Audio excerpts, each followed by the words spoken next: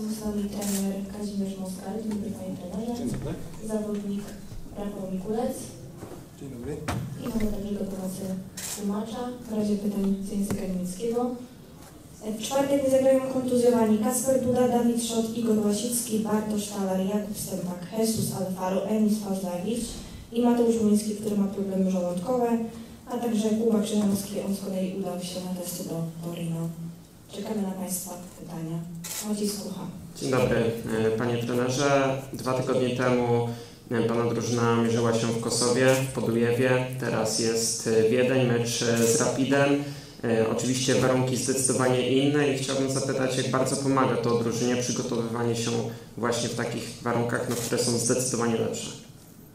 No na pewno łatwiej jest się gdzieś tam dostosować. Mecz o 20.30, więc ta atmosfera będzie rzeczywiście mm, sprzyjająca, pomimo tego, że dzisiaj też e, ta temperatura jest e, odczuwalna wysoka, ale e, kiedy zapalą się Jupitery o tej 20.30 to zupełnie inaczej mm, to wszystko się odbiera. Chciałem jeszcze zapytać o Kisza oraz Duarte, którzy przylecieli tutaj do Wiednia. Czy oni są brani pod uwagę w jutrzejszym spotkaniu? Niestety nie. Przylecieli z nami, bo stąd udajemy się prosto do Warszawy na mecz e, w niedzielę z Pruszkowem, a tam już e, będą mogli mm, być brani pod uwagę. Dobrze, dziękuję. Jeszcze mamy dwa pytania do pana. Poczekaj chwileczkę, proszę, bo jeszcze proszę Państwa tutaj tłumaczenie. E, das äh, genau. Die Frage jetzt? Äh, die Frage war, vielleicht könnt, äh, może powtórzyć to pytanie jeszcze?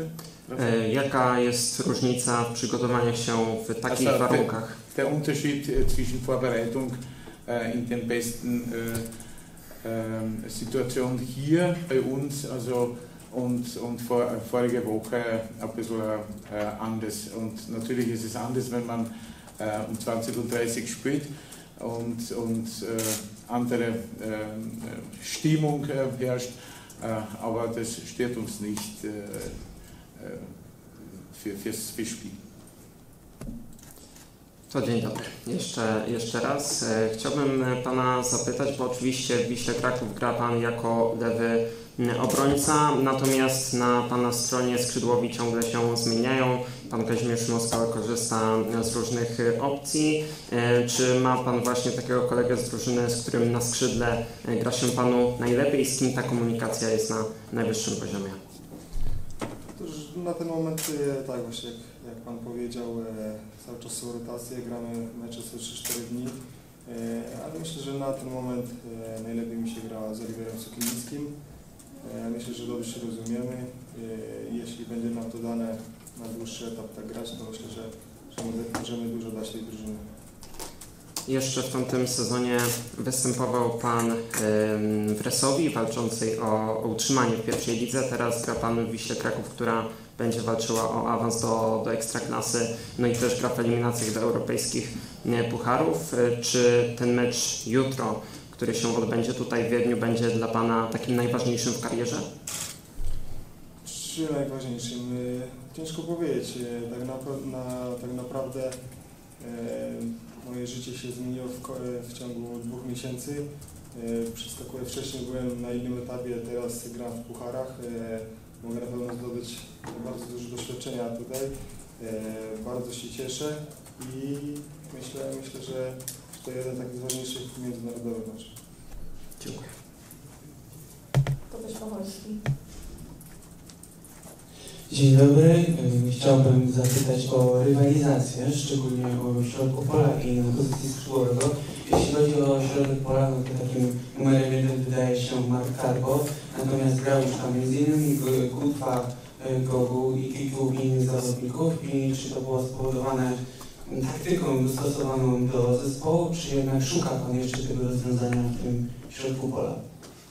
No, dla mnie zawsze y, są jakieś tam poszukiwania. Jesteśmy e, na początku budowy tego zespołu. Mamy rywalizację w tym środku pola. Mamy kilku zawodników, którzy na tych pozycjach mogą występować. W lidze w tych pierwszych dwóch meczach nie możemy korzystać z Marka Karbo, e, ale w pucharach e, może grać i na pewno jest to zawodnik, który daje nam dużo, dużo jakości. A to z kim e, gdzieś tam w kolejnym meczu przyjdziemy grać, to mm, zależy właśnie od tego, jak chcemy grać i mm, dobieramy e, ludzi e, pod kątem e, kolejnego rywala. No i to samo pytanie jeśli chodzi o pozycję skrzydłowego, szczególnie tą lewą pozycję. Teraz też problem na to, że nic nie jest zgłoszone, bo jeszcze nie są gotowe Kisz i e, Duarte, no i no nie ma takiego idealnego rozwiązania właśnie na, na tej lewej stronie w tym momencie. No, tak jak powiedziałem, myślę, że tutaj też e, kiedy pozyskaliśmy Duarte i Kisa, e, ta rywalizacja będzie trochę większa i większe nasze możliwości mm, na tych pozycjach. Na tą chwilę mamy takie, jakie mamy i musimy szukać e, najlepszych rozwiązań dla zespołu. Jeszcze jedno pytanie do Pana Rafała, trochę wrócę do pytania Maćka. Chciałbym zapytać w kontekście przeciwników, z którymi się Pan mierzył w tych europejskich pucharach, m.in. Bola, Gaszian, Oswald. Przeciwko komu się najtrudniej Panu grało? No, myślę, że e, najwięcej podników stoczyłem z bolą, e, ale też myślę, że e, jestem troszeczkę zaskoczony, że, że miałem tak mało pojedynków jeden na jeden. E, Myślę, że w tym meczu tutaj będzie, będzie tych pojedynków e, coraz wie, znaczy na pewno więcej, jeśli będzie mi dane grać. E, Ale ogólnie to ciężko, ciężko mi powiedzieć na to pytanie, bo tak jak wcześniej powiedziałem, że, że nie miałem tych pojedynków jeden na jeden. Bartosz Karcz.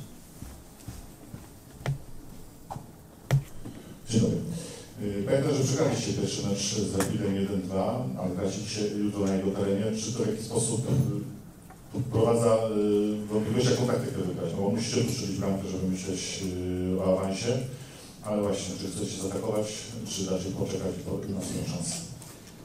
Więc tak, jeśli patrzymy wstecz i analizujemy ten mecz z Rapidem u siebie, myślę, że gdybyśmy wykorzystali przynajmniej jedną z tych okazji dogodnych, które mieliśmy, to ten mecz mógł się zakończyć przynajmniej remisem. Niestety yy, przegraliśmy 2-1 i jest to wynik, który mm, daje nam wciąż e, szansę bycia w grze. E, mówię tutaj o tym, że jedna bramka strzelona przez nas tutaj e, jakby wyrównuje mm, ten, ten stosunek i myślę, że dopóki będzie 0-0, to no, wszystko jest możliwe. E, To nie jest powiedziane, że my od pierwszych minut musimy mocno gdzieś tam zaatakować i e, zaraz starać się strzelić e, bramkę na samym początku, bo nie wiem, mielibyśmy w przypadku wyższej porażki odrabiać kilkubramkową stratę. To jest różnica tylko jednej bramki. Tylko i aż, bo wiemy, że przyjechaliśmy tutaj na bardzo gorący teren, ale tak jak powiedziałem, wydaje mi się, że to jaką taktykę obierzemy, to, to, to gdzieś tam plan jakiś mamy i coś sobie będziemy zakładać, ale też jest takie stare piłkarskie powiedzenie, tak się gra jak przeciwnik pozwala, więc my możemy mm, tutaj zakładać, że nie wiem, zaatakujemy od pierwszych minut, y, a może być zupełnie inaczej, co nie zmienia faktu, że wciąż do momentu 0-0 ta, ta sytuacja jest y, dla nas y, wcale nie najgorsza. Trudno mi zapytać o wydarzenia sprzed dwóch dni, które kibiców Wisły miło zaskoczyło, a jak Pan będę przyjął y, informację o tym, że Rado przedłużył kontrakt do na długo z Wisłą? No oczywiście bardzo się e, cieszę, bo mm, myślę, że wszyscy z niepokojem gdzieś tam e, oczekiwali na, na wiadomości w sprawie, w sprawie Angela. E, żartobliwie mówiąc, e, można powiedzieć w ten sposób, że użyliśmy pewnego fortelu na Angelowi opaskę na mecz z Polonią i, i na następny dzień nie przedłużył kontrakt. Y, Gracie y, co szybki w tej chwili, niedzielę czeka Was już kolejne spotkanie. Chciałem spytać tak trochę pod kątem składu, bo y, z tego meczu niedzielnego y, wykluczają kartki czerwone y, Marka Karbo i Wiktora Wyrzyckiego. Czy paradoksalnie przez ten to się takim do składu tutaj? No, oczywiście, że ja cały czas do zawodników mówię, żeby patrzyli na to, z kim gramy najbliższy mecz, do tego meczu się przygotowywali. Natomiast my jako sztab musimy patrzeć trochę e, krok, a może dwa e, dalej i, i coś tam planujemy. Ta kartka mm, Wiktora i kartka Marko e, na pewno nam gdzieś tam komplikuje sprawę, jeśli chodzi o, o mecze ligowe. E, Pewnie trochę zmieniło, ale nie wiem, czy w tym akurat najbliższym meczu. Proszę tak chciałem zapytać, co składa się z tymi krótkimi terminami pomiędzy meczami. Wspomniał Pan tu, że wraca się z Wiednia prosto do, do Warszawy. Y, Jak ten plan będzie właśnie wyglądał po tym meczu z Rapidem, który zakończy się jutro później wieczorem? Po meczu zostajemy w Wiedniu, następnego dnia w piątek wylatujemy, e, w godzinach popołudniowych trenujemy e, w Warszawie, w sobotę trenujemy w Warszawie i w niedzielę mecz. Po meczu wracamy autokarem. Michał Kura. Dzień dobry trenerze, dzień dobry Państwu. E, mam pytanie o Rapid. Jak analizowaliście, czy to jest drużyna własnego boiska, bo, bo czasem są drużyny, które u siebie nie idzie. Są takie okresy w przypadku drużynach. Jak, jak Wam to wychodziło z analiz też, też w poprzednich e, sezonach? E, no bo to też będziecie musieli się naszykować, przyszykować do, do kibiców, którzy tutaj będą miejscowych. Mm, No, tym razem oni nie będą w większości za Wami, tak jak to było 6 dni temu. Nie, myślę, że tutaj Rapid właśnie to, co powiedziałem, przyjeżdżamy na gorący teren, gdzie mają e, wspaniałą też publikę i, i na pewno to będzie ich y, 12 zawodnik, więc na to musimy być y, gotowi. Nie możemy mm, e, przestraszyć się tego, że gdzieś ta atmosfera będzie mm, bardzo gorąca na trybunach. Here. Yes.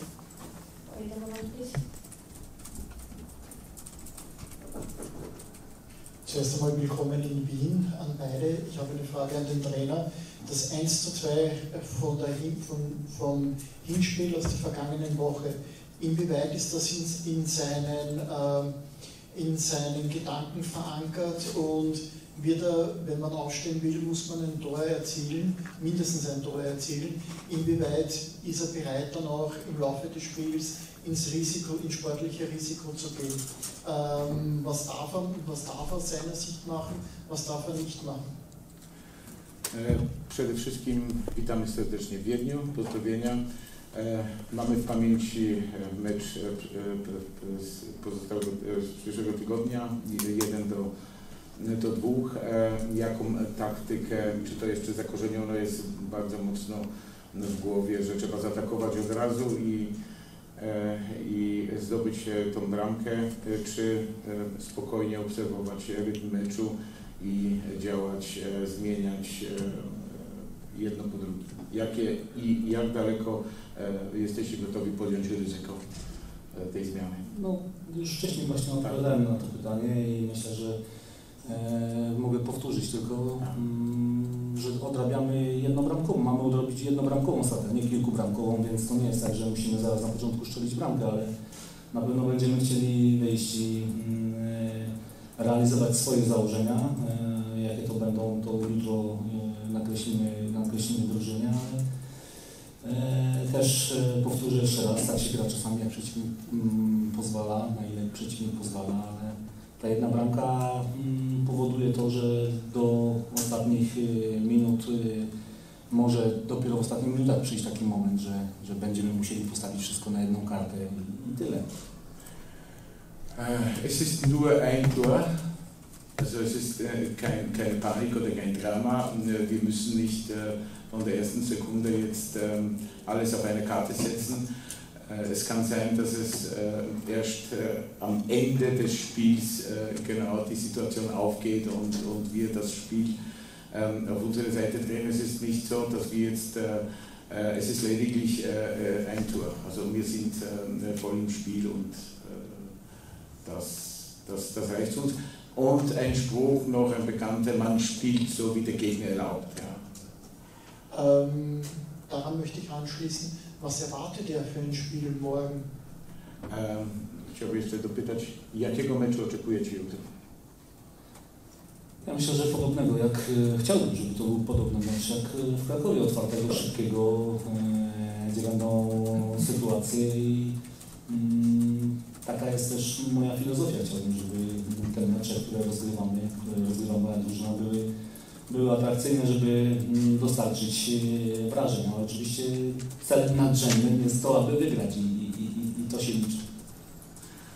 Natürlich, ja, mein Traum wäre ein schnelles, intensives, entschlossenes Spiel. Mein Ziel ist auch immer ein attraktives Spiel zu machen und äh, ich hoffe, dass das, dass das morgen äh, passiert. Und eine letzte Frage noch von mir. Äh, Robert Klaus, der Rapid-Trainer, hat Wisla Krakau in den höchsten Tönen gelobt, hat gesagt, ist eine sehr gute Mannschaft ähm, mit sehr guten Spielern. Inwiefern nimmt er das wahr ähm, oder versucht er solche Sachen vor dem Spiel komplett auszublenden? E, Nasz Robert Klaus e, e, mówił, że e, bardzo chwalił w wysokich tonach e, pana drużynę e, i e, jaki to wpływ ma, czy jest to mm, pan w stanie jakoś e, z głowy mm, zapomnieć, czy, czy, czy jest to motywacją dodatkową, czy raczej e, ta myśl, że jesteście chwaleni pod dobry zespół, dobry trener. No na pewno, na pewno jest to miłe, natomiast łatwo jest powiedzieć o drugim zespole, że dobrze gra w momencie, kiedy wygrywasz mecz. Więc y, okej, my, my wiemy, że też y, nie zagraliśmy złego spotkania i mm, tak jak powiedziałem, gdybyśmy wykorzystali którąś z tych sytuacji, wynik mógł być inny i wiemy, gdzie tam e, Mogliśmy zagrać lepiej. E, Ja też o Rapidzie wypowiadałem się w dobrych słowach, bo rzeczywiście pokazali w tym meczu sporo jakości, potwierdzili to, mm, z czego się spodziewaliśmy i jak analizowaliśmy ich grę. Das ist ganz lieb und sympathisch, dass, dass der, äh, unser Trainer Robert Klaus in höchsten Tönen äh, über Wisla Krakau gesprochen hat. Es ist ganz einfach, wenn man gewinnt, dann spricht man auch so in den höchsten Tonen. Äh, er hat heute auch äh, und, und, und gestern ähm, äh, sehr über Rapid sehr positiv und in höchsten Tonen gesprochen. Äh, und äh, es ist äh, eigentlich äh, für morgen alles offen. Michał Kura.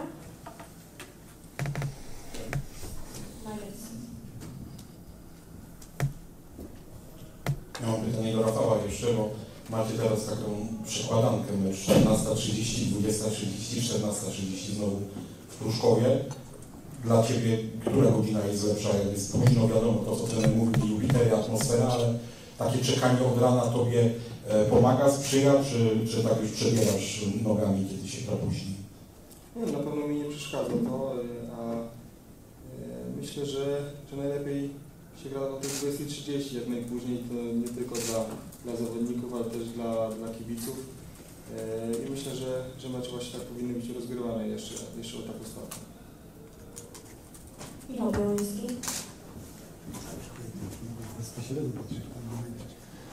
Komu witam Panie Trenerze serdecznie.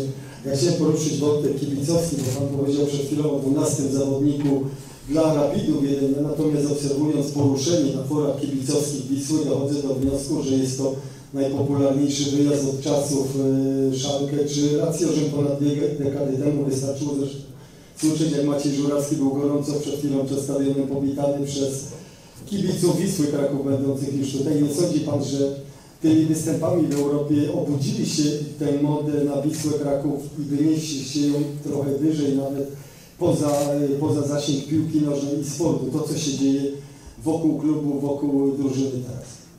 Z całą pewnością tak. Ja muszę powiedzieć, że byłem pod wielkim wrażeniem tego pierwszego meczu, tej atmosfery, która była stworzona u nas w Krakowie i kiedy ten stadion był pełny i gdzieś tam kibice ryknęli, to naprawdę można było to odczuć na własnej skórze. Cieszy mnie to, że pomimo mm, różnych problemów czy restrykcji mm, też dochodzą do nas głosy, że jednak tutaj sporo kibiców może mm, naszej drużyny być i to jest na pewno fajne. To też wydaje mi się, że doda, dodaje atrakcyjności e, całemu e, widowisku. Jeszcze jedno pytanie do Rafała. Rafał Rapid Wiedeń to klub o pięknej historii, dużo starszy niż te najstarsze polskie kluby Wisła Krakowia, czy nawet te lwowskie, które już nie są w naszych granicach. Czy Ty w związku z tym, że jutro to będzie na pewno gorąco, mentalnie Ciebie to nakręca, czy gdzieś musisz y, szukać bodźców, żeby nie czuć się wręcz przeciwnie sparaliżowany? Nie no, oczywiście, że nakręca. Y, Każdy zawodnik gra takie mecze, po to się gra w piłkę, y, żeby rozgrywać takie mecze i przy okazji na pewno łapać dużo doświadczenia w tym. Ja się, ja się cieszę, że, y, że możemy rozgrywać takie mecze i już nie mogę się tego doczekać.